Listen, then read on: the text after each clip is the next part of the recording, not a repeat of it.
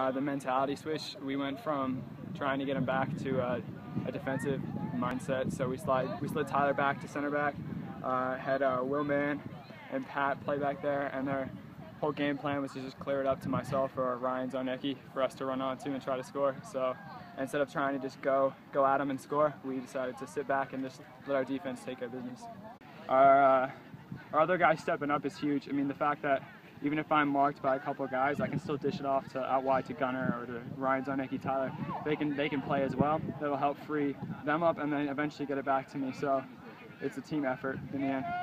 Actually surprised. I mean, if you, if you notice, I was completely facing the wrong way. I just sort of heard the keeper behind me telling us we got to clear it, so I just skimmed it over his head and uh, went top corner. So that felt good.